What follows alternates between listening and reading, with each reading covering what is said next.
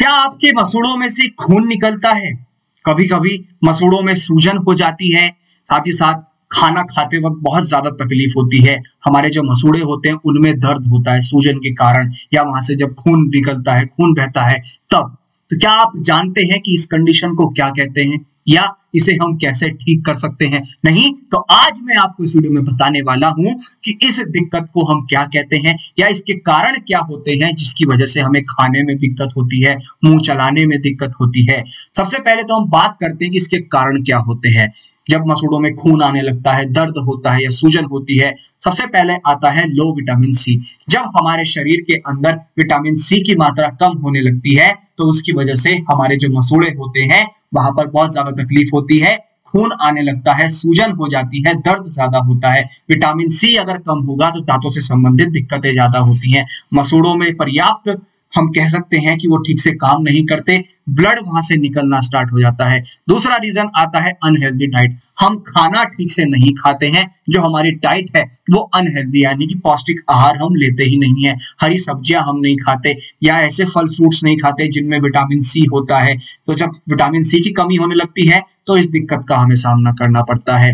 Next आता है loss of teeth यानी कि जब दांत हमारे झड़ने लगते हैं, दांतों में दिक्कत होने लगती है, दांत टूटने लगते हैं तब भी ये दिक्कत हमें बन जाती है। साथ ही साथ सनकेन आइज़ जब हमारी आँखें धसने लगती हैं तो उसकी वजह से दिक्कत हो जाती है और हमारे मसूड़े सूजने लगते हैं, हमारे मसूड़ों में खून आने लगता है, वो सिर्फ़ और सिर्फ़ इसकी वजह से जब विटामिन सी की कमी होने लगती है और साथ ही साथ जब हम खाना ठीक से नहीं खाते हैं, अब बात आती है कि इस दिक्कत को हम कहते क्या है? इस दिक्कत को जो हम कहते हैं, उसका नाम है स्कर्वी। आपने नाम ज़रूर सुना होगा। स्कर्वी ही एक ऐसी कंडीशन है जहाँ पर हमारे मसूड़ों में से खून आता है।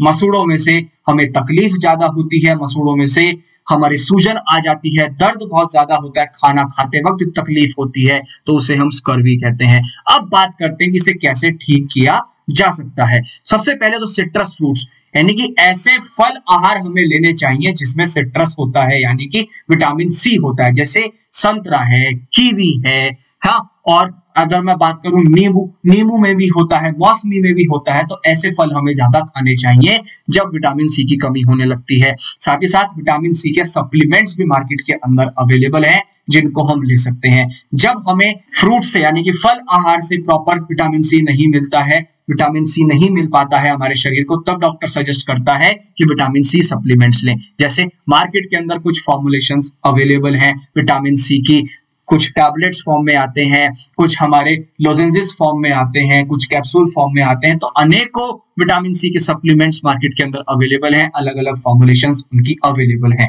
लेकिन हमेशा ध्यान रखें, जब आप कोई सप्लीमेंट लेने जाते हैं तो उससे पहले एक बार डॉक्टर से सलाह ज़रूर ले लें। डॉक्टर जो आपको सलाह दे, जो आपको सजेस्ट करे, उसी का सेवन करना आप शुरू करें। तो इसी तरीके की मोर अपडेट्स के लिए बने रहिए फार्मेसी इंडिया लाइव के साथ फार्मेसी इंडिया लाइव चैनल को सब्सक्राइब कीजिए और जुड़े रहिए हमारे साथ लेटेस्ट अपडेट्स के लिए, जहाँ पर आपको शरीर से संबंधित सारी बीमारियों के बारे में आपको बताया जाएगा, कैसे हो जाती है, क्या उसके मुख्य कारण होते हैं, क्या उसके प्रमुख कारण होते हैं, साथ ही साथ उसे मेडिकल टर्म में क्या कहा जाता है, उससे कैसे ठीक किया जा सकता है तो वो सब आपको यहाँ पर संपूर्ण जानकारी वीडियो के अंदर मिलेगा। तो इसी तरीके की मोर अपडेट्स के लिए बने रहिए फार्मेसी इंडिया लाइव के साथ एंड थैंक्स फॉर वॉचिंग